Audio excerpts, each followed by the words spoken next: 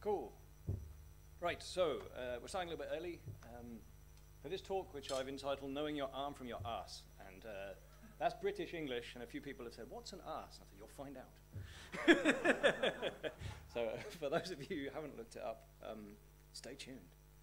Uh, and the sort of more polite, less British Englishy uh, title for this presentation is How to Identify the CPU Features in Your Phone. Now, it's just after lunch. You might all just doze off because it's warm and it's dark and you're full, but it's hopefully a bit more interesting than that subtitle makes it sound. But first, uh, if I can make this work. Let's have a look. Sorry, one second. There we are. Okay, it's kind of, well, we'll, we'll see. Hopefully keep some of it on the, on the display. Um, so just a disclaimer, I don't work for ARM anymore. Um, I used to, uh, but this presentation was done while I was there and they kindly sponsored this conference, and I travelled to be here, so thank you very much, Arm. You can see them down there in lowercase uh, and here, and they're in uppercase on my slide because I don't keep up with the marketing stuff. And because I, I, also wanted to capitalize us, because it makes it sound like it stands for something. Uh, I normally give pretty low-level technical talks um, about memory models or concurrency or TLBs, things, really fun things like that. Uh, this one is actually a bit of a change for me because it's more going to be about uh, terminology, uh, how to identify things, CPU features in your SOC. Um, so yeah, if you want to interrupt me halfway through or just whenever, give me a shout. The, the blue thing's there, I'll try and hurl it at you. And we'll see how we do. So, introduction. Uh, I'm the ARM64 co-maintainer in the Linux kernel, which is why I know a little bit about ARM, and I've worked there for a decade in the open source group. Uh, I made significant contributions to not just the Linux kernel architecture code, but also to actually the ARM architecture itself, um, in parts of the memory model and system architecture as well. So I've kind of been involved both on the what you might think of as the hardware side, although I don't write Verilog or VHDL, um, but I've also been involved with the, the software side. And during my time at ARM, I was obviously very exposed to what, what's called the ARM ecosystem, and I'll talk a bit more about this later on, but this is, this is the select collection of companies that work together to produce ARM designs. It's not just you know, your Samsungs and your Qualcomms. There's lots and lots and lots of companies that uh, design with ARM and uh, write software for ARM as well. So it's exciting thing to work uh, work as part of. But you're you're in kind of quite even though you work for you know the ARM, you're quite a small player in, in this big ecosystem. So there's lots of um, it's a bit like the mailing list, but everyone's polite, right? It's kind of the way it works. I tend to be CPU centric, um, just because I that's my background. I try not to be. Uh, yeah, bear that in. And my sort of one takeaway that I had is that developing system software for the ARM architecture, if you don't work for ARM, is really, really hard. Um, the documentation that, that is available can be quite difficult to read. It's sort of written in, instead of English, it's written in ARMglish. And you, you get used to the terminology, and then the problem is you get used to it and you start writing like it. Right? So you sort of make the problem worse. So I'll try to explain a little bit about how to decipher some of this stuff.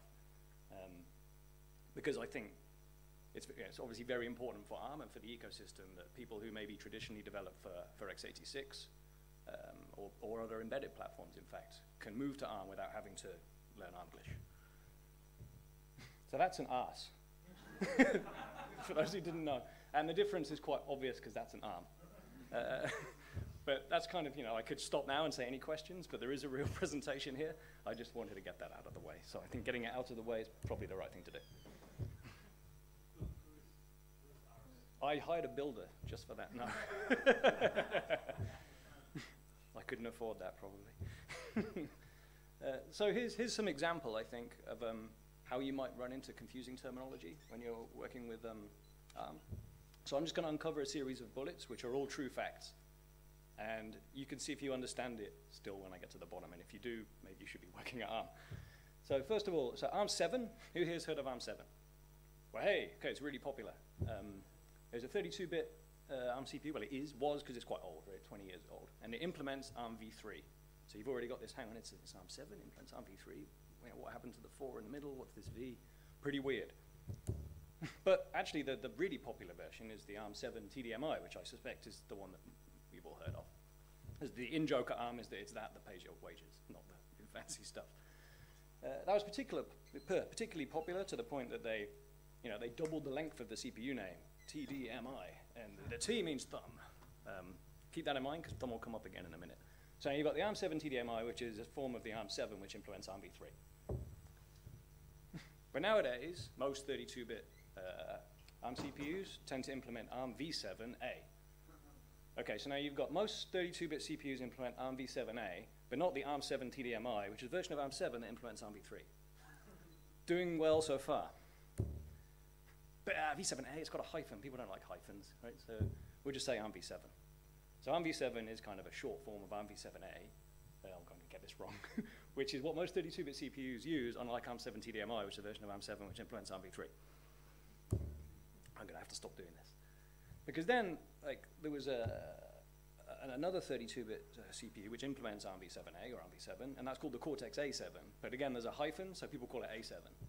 And that implements Thumb2, but it's not an A7T2.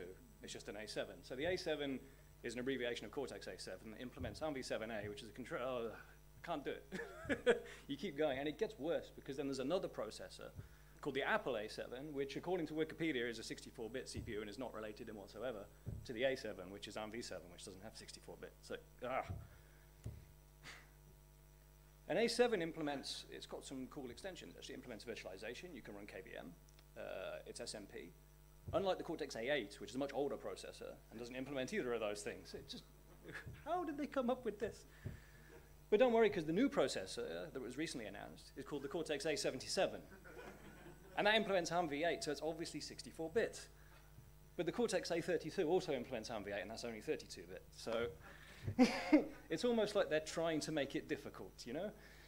Uh, and I could have come up with other examples. This was just, you know, I started writing, and this is where I ended up. And actually, it's not just me that, um, that things like this. Also, you know, Linus Torvalds. So if you, if you search for angry penguin, this is the picture you get.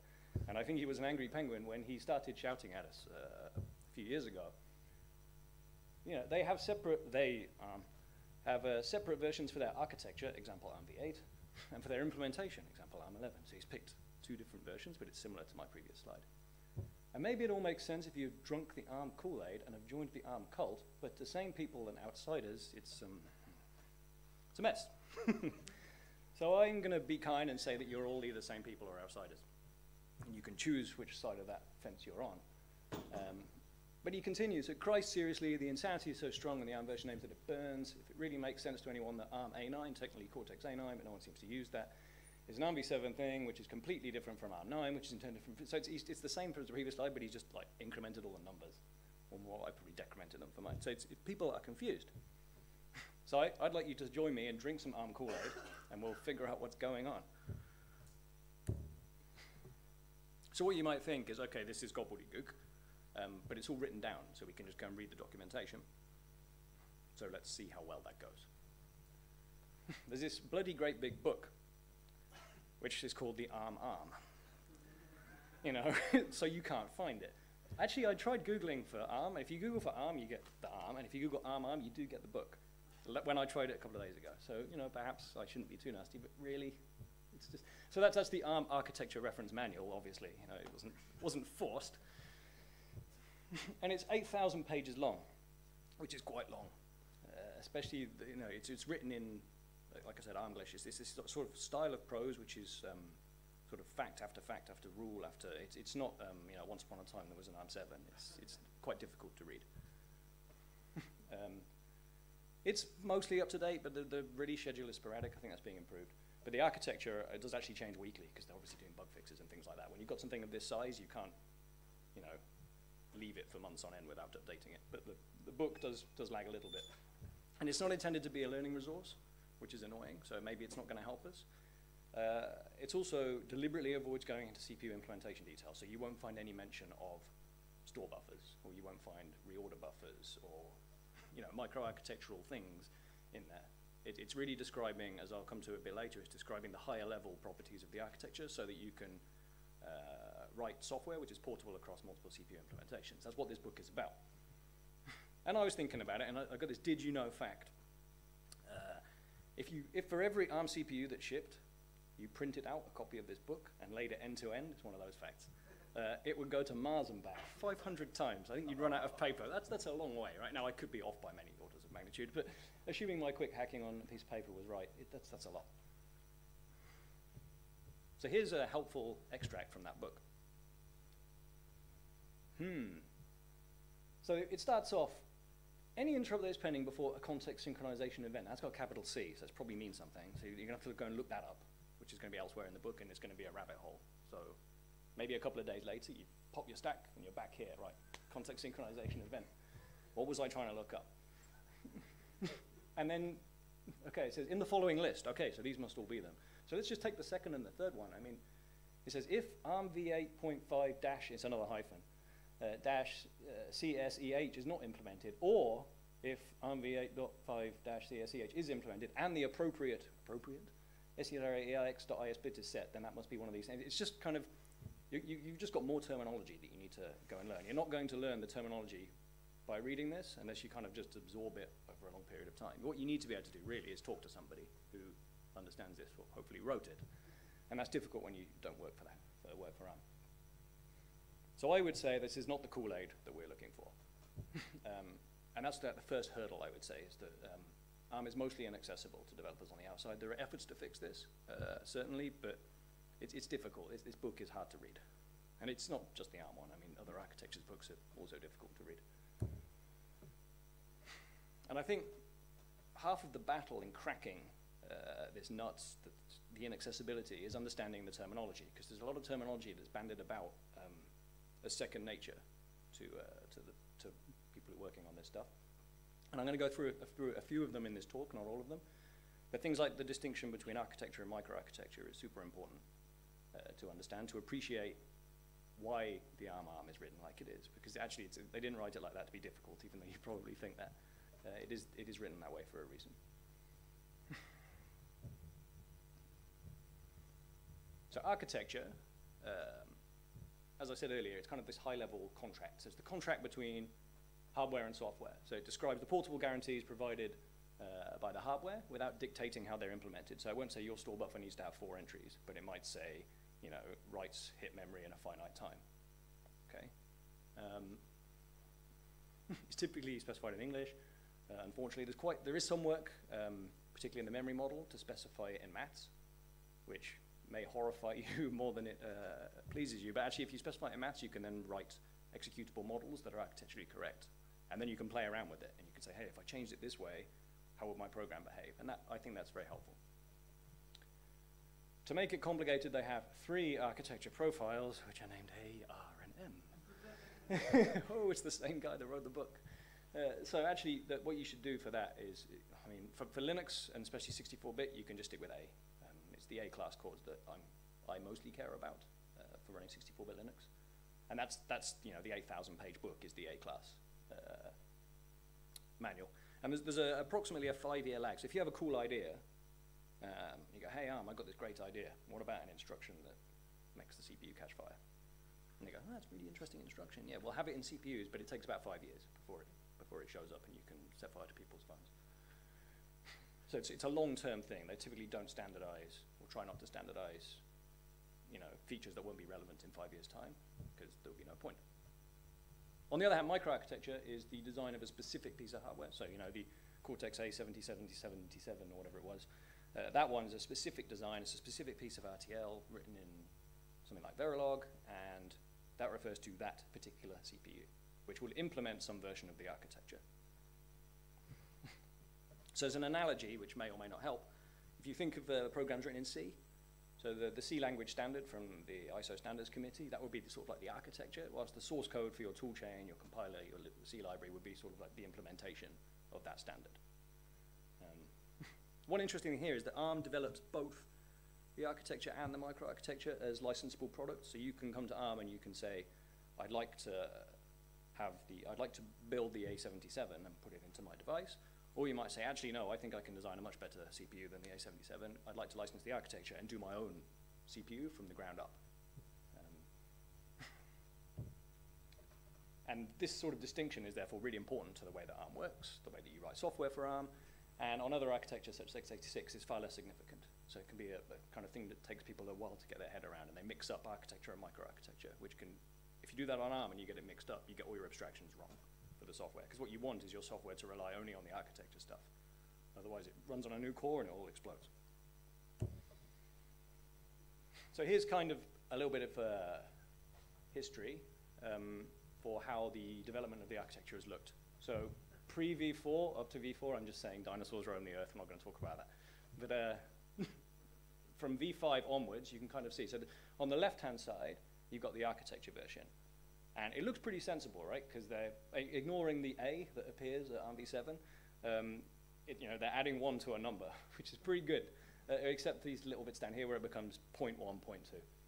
Uh, and then the, the middle column is the, the date, roughly when that architecture was announced. um, so you can see ARMv5 to V6 was a couple of years, three more years to V7, then a big long gap to V8, because V8's where 64-bit came in, so there was obviously a lot of work to uh, produce a, you know, a brand new instruction set, essentially, between that. And then since then, they've moved to this dot .1, dot .2, dot .3, and you can see that's very regularly done on an annual tick. So right now, you've got um, V8.5 from last year. I, you know, I wonder what could be next. Um, I wouldn't like to guess. We did the opposite of Linux. we were 261, 262, then we actually went 3. so it's the opposite of Linux, Steve says. So anyway, then you've got in the sort of paler blue, if you can see the distinction, the third column across, I've just picked a feature that was present in that. Uh, I'll get it if you want. right. Um, so for example, uh, I lost my train of thought now. Yeah, so for V6, we, we kind of got SMP. It wasn't very good. Um, and that was then properly done in V7. And V7, we had virtualization, we had some stuff to the MMU, and then you can see for these 8.1 things, we're adding things like new atomic instructions and security enhancements for pointer authentication. There's a lot more than one feature per revision. I just picked some because you know, there's not lots of room on the slide. And then the final one on the right is a, a CPU that implements that version of the architecture. So you can see the Cortex A8 implements v7a. So you, just as an example, and really that you can't, unfortunately, from the naming, you can't figure that out. It's just you need to look it up. Uh, and another confusing thing I found when I put together these slides is apparently uh, there's a CPU from Apple called Vortex, which implements 8.3. So now you've got Cortex and Vortex, which is, ah, these people learn. Um, but that was just on, on Wikipedia, so it could be wrong, but that's what it said. So many of these things are also optional, which is a bit of a pain. So you can't say, hey, I'm 8.3, I've got pointer authentication. Maybe you can with that, that could be a mandatory one, I don't remember off the top of my head. But some of them are optional. Um, so actually, even if you uh, are writing portable system software, you still have to go and read ID registers to figure exactly what you've got in your core. You can't rely on them generally being present just because you know that you're an 8.3 chip. So why is the product naming so inconsistent? Um, I'm not going to say completely down to the licensing model because there's definitely an aspect of creative marketing um, and information sort of disinformation to confuse you into knowing really what's there. But a large part of it is because of the, the way that things are licensed. So actually, if you, if you get a core license, which is what I was on about earlier on, you say, hey, I want this specific core, the A77, to put into my SOC, you can buy that from ARM, and they'll say, right, here's the A77, fill your boots, and you might be allowed to make minor modifications in conjunction with ARM. It's kind of, I'm not clear, completely clear on what you are and aren't allowed to do. Um, but we'll see more of that later on because I'm going to show some examples of some SOCs. Um, alternatively, like I said, there's this architecture one where you design your own one from scratch. Sounds good. And you can call it whatever you like. Um, so you could call it, well, you probably can't call it a Cortex because I think that's a trademark, but it, you, you could call it, you know, um, Linux CPU 9000 if you wanted to, Linux Foundation were kind. Um, and an interesting thing that comes out of this, it also means that the architecture partners are indirect competitors because if someone buys a license from you for an architecture and they design their own chip, that's now competing with the chips that ARM produces. So ARM has to work with this person to support them on their architecture, but they're also competing with them. So I, I think that probably muddies the waters for how people name their CPUs because they don't want it to, you know, they're, they're competing essentially. And it also means that unfortunately, it's, it's uh, important that ARM doesn't produce production silicon as an SoC because then they, they will be seen as competing with their own customers. So a lot of the problem with um, you know, accessibility to dev boards and things like that uh, quite, it kind of stems from this, this problem where if they, were, if they produce something that was actually really decent uh, SoC, then the customers are saying, hang on a minute, stop invading our space. Um, so it's, it's, a, it's a very difficult balancing act um, which they've managed to maintain, and hats off to them for that. And to give you an idea of the scale of the ecosystem, I nicked these uh, marketing slides. Uh, but there's, I mean, there's just tons and tons and tons of logos. So these, this, I think this is slightly out of date, but um, and there are big companies on here. There's a Samsung there, and a Qualcomm, and a you know, Microsoft, and a, like, huge, huge, huge, huge companies, especially compared to what you know the size of as ARM as a company. And all these people are you know partners or licensees in some way or another. Um, it's a massive amount going on. And if you want to make a change, you need to convince them all, you know, or at least all the ones for that license. So there's a lot of um, heated discussion that goes on to, to make these sort of changes. So the kind of the, the joke that I've heard banded about is that uh, ARM ends up playing Switzerland. They can't really choose sides. Uh, it's in their interest not to, not to, you know, be on one side or the other, just to kind of steer the, the, the technolog technological discussion in the way that it, it should go to, to come to a conclusion. and if you look at in revenue terms, and these are just pulled straight off Google or Wikipedia, so they, they could be wrong, and they're kind of hard to compare, but it, I think it gives you a rough idea. If you look at the sort of revenue figures for over the last few years for these companies, Qualcomm 22 billion, a lot of money, Intel 70 billion, Samsung 211 billion dollars, and then ARM comes in. Does anyone want to guess what, what ARM is? How much?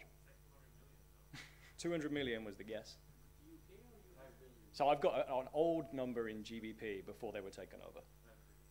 Okay, so it was less than a billion pounds um, in 2015, which is, you know, so, sorry? in 2015, I, it was probably a lot more. Um, let's not go there. Uh, talking of asses, but um, strongly recommend. And then they put it, they put it in like typeface capitals. Really strongly recommend this. Um, but you, it's not a lot of stuff you can enforce because people will just say, well, if you're going to force us to do that, sorry, we're out. Um, and that would obviously be very bad. And that, that brings us on to the diversity and fragmentation because they're not able to uh, force things. Um, you end up with this sort of pick and mix architecture. I, I mean, that wouldn't, I wouldn't be thanked for saying that, but from a software point of view, that's kind of what it looks like. Uh, it's reined in slightly by the desire for software reuse. People that nowadays do want to just take um, a mainline Linux kernel and a standard distribution and probably a reasonably standard uh, bootloader or firmware and have it work without too much modification. You know, a few years ago, people would write everything from scratch every single time. Not, not anymore, but even so, um, like I say, it's, it's tough to mandate very much. And the way I see it, it's a bit like a, a conference buffet, although not the one here. The one here is very good. Um, but often, you know, particularly American conferences, you go to these buffets and you join the queue, and you get to the front, and you go, oh, chicken, I'll have that. And you get to the next one, oh, fish, I'll have that. And you get to the next one. And it's just like a combination of foods which you would never consider putting on the same plate when you're at home. And you, you get to the end of the buffet and you think, that looks revolting. And you eat it, and then you go and do it again, right? Maybe in the other order, to just work out what order to pile them on top of each other. And it's a bit like that. You, you get all sorts of funny architecture features getting mixed together, uh, which perhaps if you stood back and thought about it a bit more, you might not have done it like that. There are some standards that have, have actually caused some traction. So PSCI is what we use in Linux for bringing up CPUs and turning them down for power, power management, and CPU hot plug, things like that. And uh, there's a document called the SBSA, which sets out some uh, sort of levels that you can design your server chip around. Um, and then, you know, if you, if you comply to SBSA level whatever, then you can take uh, an enterprise distribution and just have it work. That's the idea. And the other thing that ARM have been doing a lot of is actually just an upstream first approach. So the architecture support um, is upstreamed into things like Linux, into KVM, into trusted firmware, which is on, on GitHub, way in advance of there being any silicon. So actually you, you don't have to worry. As long as you comply to the architecture, it should just work. but there is still this tendency towards fragmentation. And I encourage you to read this, uh, uh, this blog entry. Um, it's called something like the undebuggable bug from hell or something like that. I can't remember exactly. But what, what happened was um, somebody built a chip, and the, the, pick and mix nature again. We have, well, you might have heard of Big Little. Who, who's heard of Big Little here? Right. So for those of you who haven't, it allows you to basically take any two, any two ARM CPUs and put them on the same SoC, so they can be of different architecture revisions. They're not supposed to be, but again, Switzerland. So you end up with these, these SoCs where perhaps the CPUs aren't completely identical from Linux's point of view. And this, this marvelous story is about a case where the instruction cache line size was different. So what would happen on this is you'd be running on one CPU, uh, the JIT, say, JavaScript JIT or something, I think it was the mono uh, JIT. we'll go, right, I've written some fancy uh, new code. I need to invalidate the iCache to make sure you can run it. And these messages will be broadcast to the other core with a different iCache length, and you'd end up missing every other line. So every other instruction cache line would still have the old data in, and eventually your, CP, your uh, thread would migrate, and you'd get a SIGILL. And, and how do you debug? Because it would happen so rarely.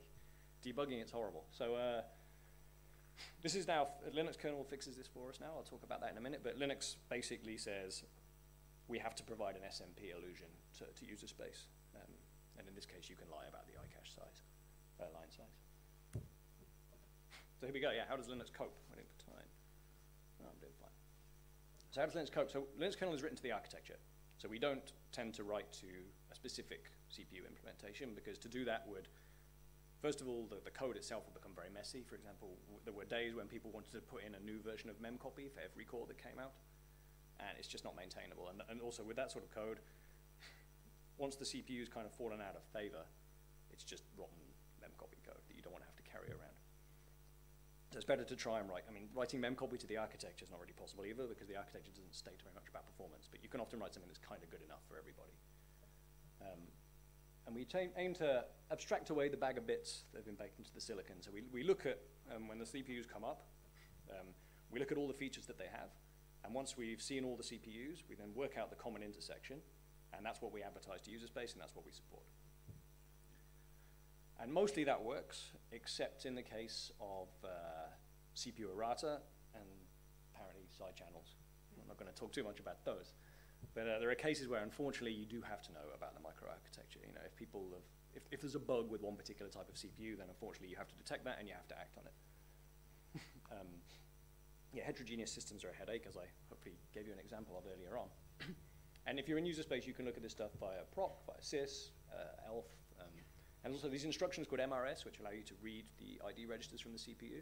They're not available to user space, but we emulate them in the kernel. So actually, if you, if you try to use that, uh, you will get a sanitized view.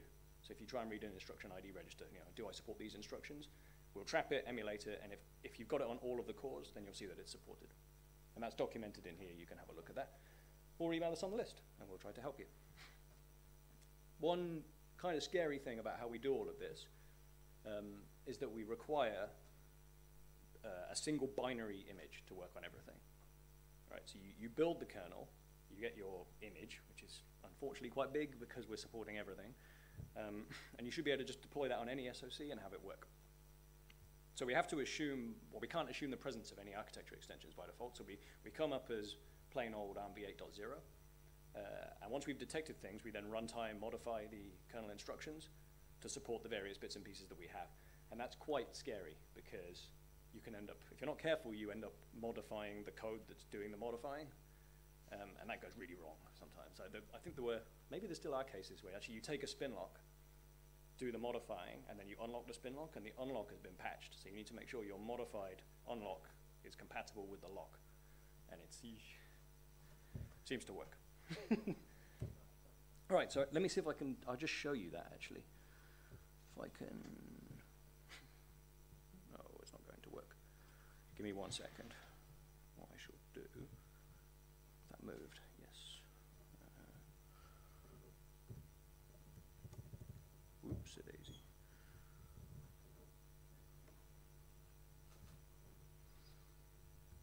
Sorry about this. Sorry? This is Linux, yeah. I don't know, it's, it's the one that work give me. So, it is. Oh, Jesus Christ, I was just trying to make that bigger. Yeah. Maybe I can. Oh, I don't know. I did. I tried Control Plus, and it does that. Okay. Yeah, it'd be super easy if I could actually see what I'm doing rather than. Okay. Well, let's see. It's not a very exciting demo, but I'm just, I was just going to basically run run QEMU, so you can see here. So if you see here, I'm running it as a Cortex A57 on the top, minus CPU A57, and this is just a 5.3 image that I, I built the other day because it only came out the other day. So if I run that, it's on QEMU, right? Give me a chance.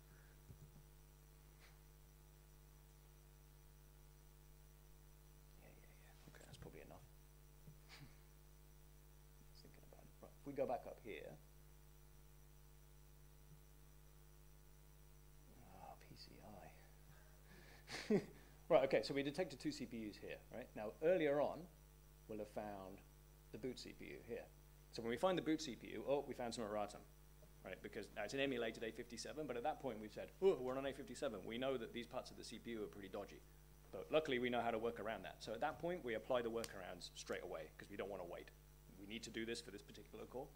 Um, and at the same time we detect a few features, although this, those features are really all about side channels.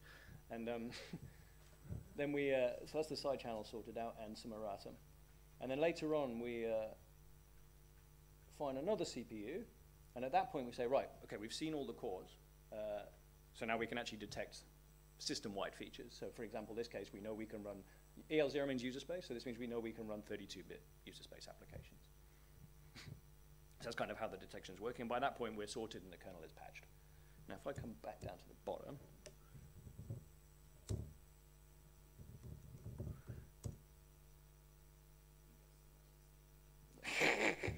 Steve guesses the password wrong. so then you can see in, in LSCPU there's some bits and pieces about the, the core. And at the bottom there's these flags. So these are in proc-CPU info as well. And these tell you, a bit like on x86, some of the architectural features that are supported on your core. And we've deliberately given them silly names so that you don't know what they mean. But um, actually there's, there's something in documentation which defines what these mean. And specifically they're defined in terms of if this is set, then this ID register must have this value. And, and the, the, CPU ID one at the end means you can do this MRS instruction and it'll be emulated. So that's that. Now if I try to run it again, uh, I can't to shut down. It's probably good enough. So you can change this.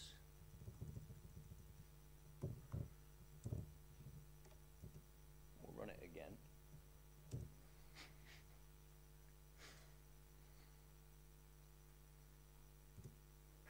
So it's the same kernel image, we've just changed QEMU to say, uh, or basically to lie about a lot of the ID registers. So it'll still look like an A57, um, but it's going to claim that it supports, well, it will. It will support many more features than an A57 really supports, because QEMU can just emulate them.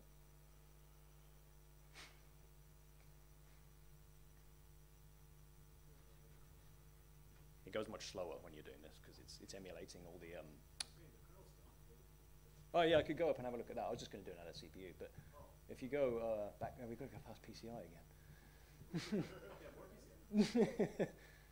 okay, so for example, yeah, so we found these fancy atomic instructions, so they're part of 8.1, and we found a scalable vector extension as well, which is the variable length uh, vectors that you can have. Um, but we'll have still thought that it was a, an A57. So that's just kind of showing you how the same binary image can detect these things and turn them on and off. And if you come down to this, deacon, there we are. You, you know, wow, it wraps the tiny little window I have. But you can see that there, there's atomics. So atomics is the LSE atomics, right? And SVE is the scalable vector extension. And there's a bunch of other crypto things that we've got. So it's just kind of the rough idea of if you've got access to one of these, that, that's how you find out what your, your CPU has. So how do I go back? Oh, it was going so well.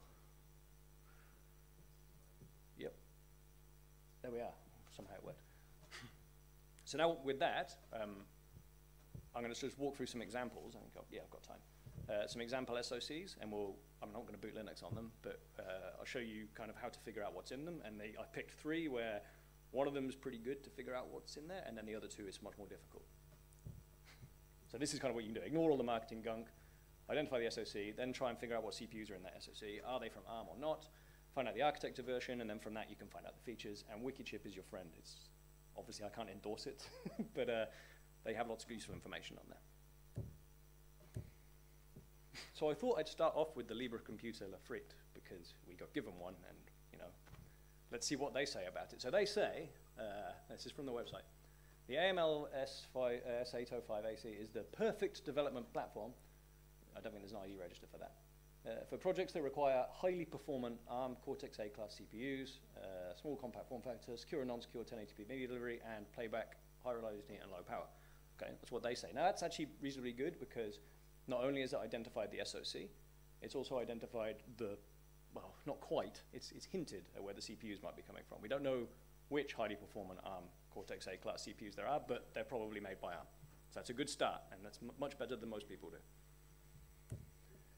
So yep, SOC is down the Amlogic uh, S805X, and it's actually four ARM Cortex-A53 cores, which ARM says, well, that's the most widely used with balanced performance and efficiency. So I'm not quite sure what that, if that goes with highly performant or not. I mean, I guess you have to run some benchmarks. But they'd probably mention performance um, more than it's balanced. um, but it's still, I mean, this, this, of the three that I'm showing, this is definitely the best one for, for figuring out what's in there. So A53, you can look that up. It's 64-bit, implements ARM v8.0, so it doesn't have any of those sub-bullets that I showed you earlier on. And if you have a big little design, one of these heterogeneous designs, particularly the early ones, this was normally the little, um, which again, yes, it's a diminutive, so perhaps for performance, not highly performant. But either way, I, you know, I give it a, a, a thumbs up for the figuring out what's in your SoC. So now let's try a more difficult one. Let's go for a product. So it's the Samsung Galaxy S9. So they say, this is from the Samsung website, uh, 10 nanometer 64-bit octa-core processor, 2.8 gigahertz plus 1.7 gigahertz, maximum clock speed, performance core and efficiency core. So it's not big little now, it's performance and efficiency. I don't know whether that one's uh, really slow and that one uses loads of power, but they, they chose those words. so um, let's try and figure out what it is. Um, and I, I, yeah, it doesn't even say ARM actually, but. Well, yes, so the SOC in Europe, because that's another thing to realize, is that actually the Samsung Galaxy 9 is a different SOC depending on where you live. Um, but in Europe, it's the Exynos 9810. Uh, Wikichip to the rescue, because I couldn't really find anything about this. It claims that it's, it's this thing called a 4 Mongoose 3 plus 4 Cortex A55. Okay, so that last one sounds like an ARM marketing name. Um, you know, remember they trademarked that, and it's not Vortex, it's Cortex. Uh, but what's a, what on earth is a mongoose? I've not mentioned that. So the Cortex A55, yes, it's designed by ARM, implements ARM v8.2. If you look up Mongoose 3, it's designed by ARM, uh, by Samsung, and implements ARM v8.0. So you, you know you might spot a problem here, which is that Linux is going to try and bring these all up as SMP, and you know I'm pretty sure they added something between 8.0 and 8.2. So that might cause you a problem.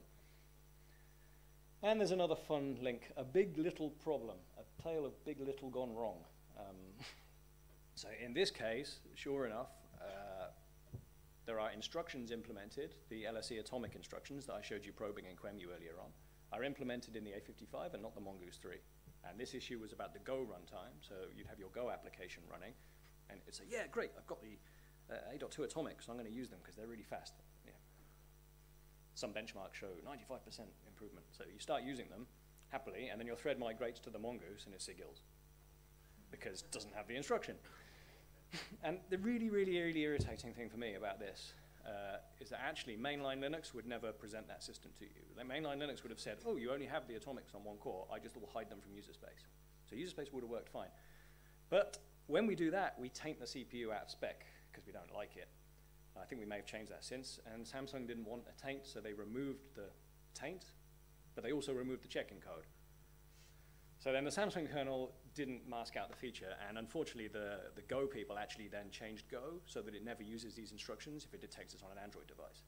So kind of everyone loses, right? And I'm very cross about this, because mainline did the right thing. Uh, I think the lesson we learned probably is that we shouldn't have been shouting about how the CPU was out of spec. Uh, although we can be cross that people have built systems like this, um, if we yell in the D message, they're just going to remove the code. so I know Steve has a warning, warning, warning, F traces enabled. Print, trace print K, that's it, yeah. Um, you seem to have done better with that than, than we did with this. Oh, right. so anyway, um, that's that one. And time for one more. Yep. So this was the Motorola Moto Z4. They say, feel the speed of a Qualcomm Snapdragon registered trademark. 675 processor, that's 57%, I mean, 55 wasn't enough, 57% faster than a Moto Z3 Play. I don't know what that is. Um, and it's a phone built to keep up with you. So, I mean, they, they, they, there's a number, right? There's a 675. So we've got something to go on, but the rest of it, it doesn't really tell you much. and also, it's an SoC, not a bloody processor. That's one thing that annoys me. So that's a system on chip. It's got lots of different processors in it.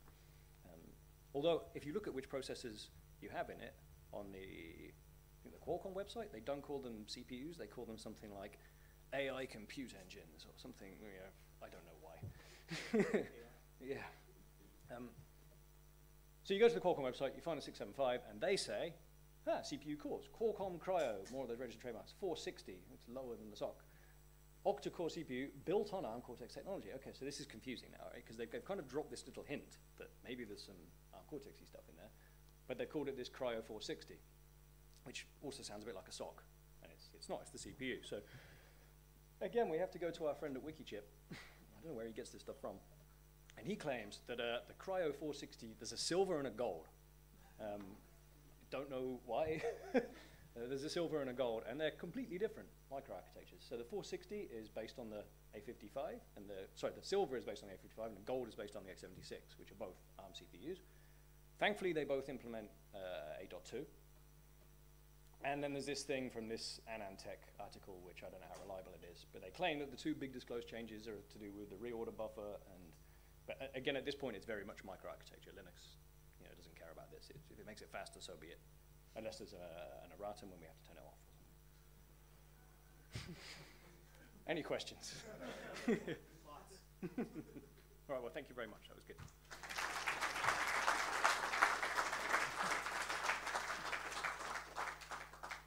That's just the images. So, yeah. If anyone's got a question, I can throw the mic to them.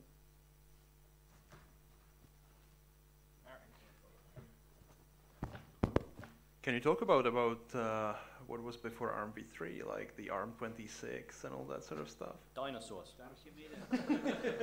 no, so I, I, to be honest with you, um, I, I haven't worked on that stuff for quite a long time. Uh, but yeah, there were there was like 26-bit addressing and all this kind of stuff. Uh, I think the earliest revision of the architecture we support in mainline Linux now, so this is on the 32-bit side, is ARM v4, and I think Debian still supports that, or maybe v4t. Yeah, they support. Mark, Marc Zyngier has a hack where if you have a CPU that doesn't implement BXLR, Uh-huh. he traps it and then he modifies the page cache. Okay. So you don't, to, with the instruction that uh, some emulation, it's very, very sketchy. But if, I, I think Debian might be carrying that patch. I'm not sure. People are checking. There was ARM 26 in the Linux kernel, R uh, slash ARM 26, I believe. Yeah, I don't think it's there anymore. I, th- I think no, ARM V4 is, yeah, ARM v4 is the earliest that's now supported. Whereas RISC PC probably. Um, you mentioned that when there are different features on multiple CPUs, Mhm. you Linux emulates some SMP. Um, Sorry, Linux Linux emulates what, sorry? uh, well, pretends it's SMP and they're the same. Oh, yes, yes, yes, yes. Are there plans to make it uh, possible, I guess, with scheduler tricks or something that uh, you would expose the different features and, and schedule uh, binaries that need specific ones on the correct CPU? So I don't, there are certainly no plans to do this upstream, uh, mainly because it's a, it's a really, really awful scheduling problem. So actually, the big, assuming that you have the same features, just scheduling uh, for the big cores and the little cores, where the only difference, the only observable difference is a performance difference, even that has taken years and years and years to get upstream, and lots and lots of uh, blood, sweat, and tears to, to make it work. So then saying, oh, by the way, you, you know, you only have floating point on CPU three, uh, you, th- you then, you know, what if someone hot plugs it off? Well, now you probably need to forbid that, but you only need to forbid it if there's a task running that's been using floating point, and then it's it's it's a big nightmare. There are, I mean, people have spoken uh, about systems where maybe you only have 32-bit instruction support on some cores, and could we do? And I really don't want this upstream, to be honest with you. It's, it's an enormous maintenance headache. Um, so no, I mean you could you could try hacking it up, but I imagine you'll run into lots of problems. Thank you.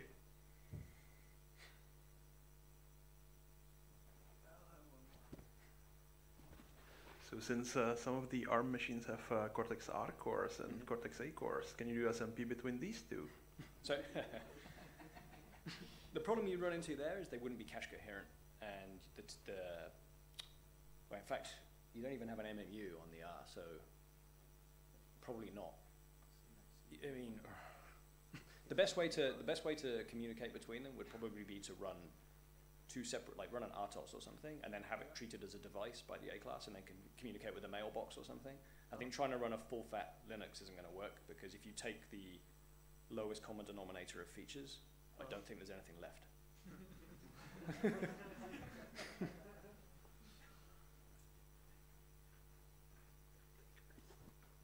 Just wondering, uh, in terms of the roadmap Mhm. for ARM, um, if the big little design approach will continue, or do you think uh, the SoC designs will be more uh, homogeneous in the future, like just go all 64-bit, for example?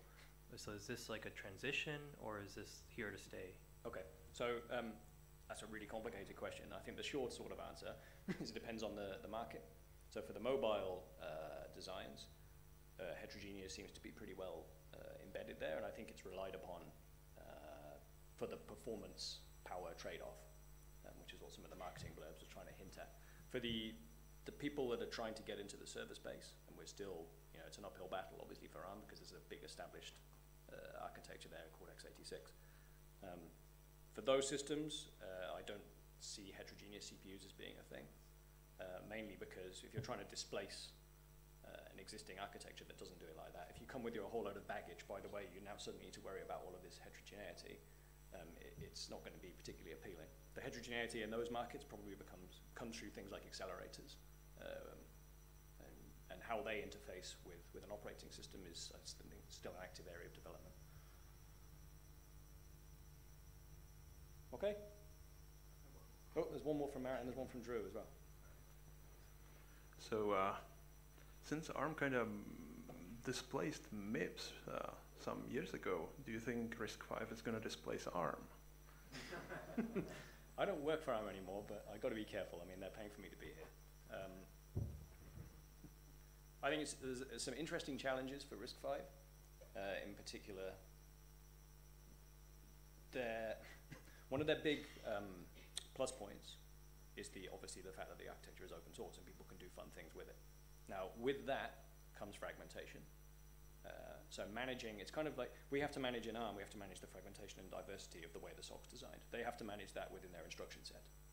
And if they crack that, uh, I think they're a very strong contender, but it, it's a very, they need to encourage the people to use it, which often means that you, at the beginning, you get lots of fragmentation. And then if they manage to control it, that will be the, I think, the test of their success, in my opinion. Oh, you kind of went over a little bit, but the the numbering of the cores, Mhm. I never understood. And like, but like, there's just missing gaps. Like, I'm assuming like someone started a design and then like threw it away, and like there's just like some incrementing counter, and you can't go. I don't. I don't know. I, so I don't know uh, how they come up with the numbers. Okay. Uh, it's, it's definitely not, um, you know, they, it's not incremental and all the ones in the Yeah. didn't exist. Otherwise, we'd have had like, you know, tens and tens of failed Yeah. CPU projects. um, what does happen is that, uh, actually, I should have mentioned this. One, one thing that does happen uh, is that, I mean, desi designing a CPU is really, really hard. If you want to validate it properly, validation takes up most of the time. So if you've got a, I don't know, an instruction decode unit, which is validated and it kind of it works and it does all the instructions you need, you're kind of daft to rewrite it every single time. So there's lots of IP reuse between CPUs, which is not, you know, you can't find that out unless you look at the, the RTL typically. So you can have, um, in fact, this was on Wikichip as well. If you look at the Cortex A76 and you look at, uh, I didn't even mention this, the new cores are called Neoverse, not Cortex. So there's a A76 and a Neoverse N1. Like they're quite heavily related uh, microarchitecturally, but you wouldn't be able to tell that from the name. So I really, step one of my, my bulleted list, which is ignore all of the marketing gunk. Ignore all of the marketing gunk. okay, I'm out of time. Thanks very much.